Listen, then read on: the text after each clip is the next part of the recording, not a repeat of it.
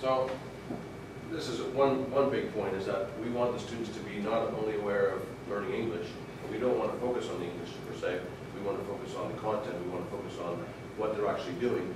So it's not the, the creation of the article that's the most important, it's the process of doing the article, it's the process of evaluating the article, it's the process of, of taking a tool, building a tool that you can use for something else. It's like taking, uh, you want to build a house, you- so you make a hammer. So we want the students to make the hammer so that they can build a house. So they're, they're uh, creating the assessment criteria so that they can assess. On the other hand, they created the article that will be assessed. So in that sense, it's almost like a workplace where if they want to create a product or they want to create something for the, for, for selling or for whatever they want to do, then they go through the process of creation and assessment inside of the company, for example, and then finally a release of a product or whatnot. So learning life skills as well as the English. Um, Well, actually, Mark and I, we've been working on classes together for a number of years at different universities, and a lot of our ideas match. And when we've started doing, uh, using Moodle and started using the workshop last year and and everything, we, we sometimes get the same students in the second year or the third year classes, you know, doing another class.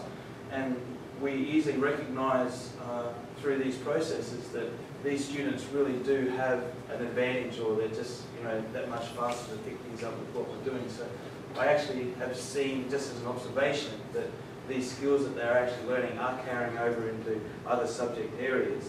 And we teach a lot of English which are content-based subjects. So we're actually starting to see evidence that, you know, they're actually learning something and it carries over into something else. What, autonomous learning. is that- Yeah, that's exactly right. Learning how to learn. Yeah.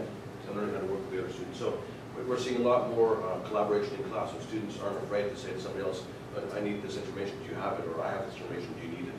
So the students are actually, very proud of the past, are actually now collaborating more in class, they're more open, and they're more willing to do this kind of thing, whereas um, other classes that we had, we have for the first time, more in tune to, to, to- be the regular class that you've always encountered. It- It's just great, like, in the second year, and you did the third year chemistry uh, uh, content lesson, when you say do something, they just do it. Because they, they know that, hey, we've got to do it. When he says three minutes, you've got three minutes, and they know this, they know the process, they understand the system. Thank you. Next one. And so, yeah, we have, uh, if you have any questions about the the references or have any questions about anything, or uh, I think what we're gonna do is, we videotaped uh, the presentation yesterday and today, we're gonna put it up into YouTube. So That way, if you didn't write everything down, you can still transcribe later on. You're going to get our permission for our questions. Ah, okay. Well, cut your part then, is that what you want? No, you, you have my permission. Okay. Backside. Uh, I think we have everyone's permissions then. Do we have, do we have permission then for, we can upload this? Okay. Yes. A minor question, uh, when you're doing the the rubrics, um, you have the criteria, let's say, for example, um, information, yes, and then under that, you have like uh, subdivisions, accuracy, amount, and other things. Do students actually rate each subdivision or only the big criteria? Well, inside of the content, in each, each subdivision, the students, what they did was they said, okay, inside content, we should look at this. And then you'll see inside of the, um, the uh, individual uh, areas that they've actually commented on, on each element of that. So if it says uh, English, there'll there'll be some sort of comment in here about the English. Or if it says about layout, then there'll be some sort of comment throughout that says layout. So they do focus on each individual. Yes, to answer your question. But it, but it's not individual, they don't click for each subdivision separately. Now, you mean, you could do that, but your rubrics would be massive.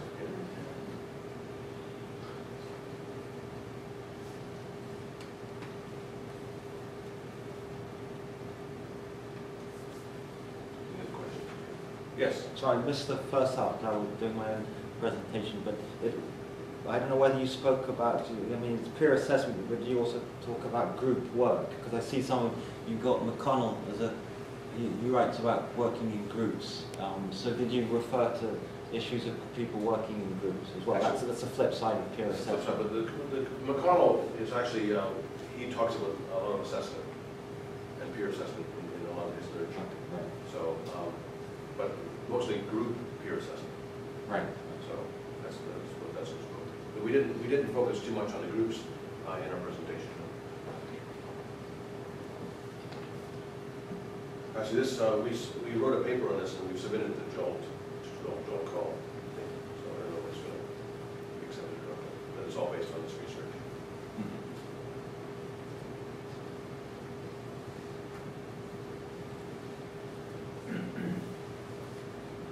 Okay. Are there any more questions then? Okay, well, here's one, Yes. right, then. Uh, would it be possible to have them students submit as a group within workshop? If, um, So three people, one piece of work, and then... Yes. We thought about that, I think, at the very early stages. you, you you can. They don't get the same, I mean, Yeah. you could weight the marks differently afterwards, but initially they don't get the same. Same. Uh, In one point nine, I think that was more open, in this case, it's not so much. One point nine, you could actually go in there and individually grade a student Yes. based on the amount of work that you thought they had put into that one article. Right. As a, but as a group, um, but they would still be a part of that group. But in this case here, um, I don't,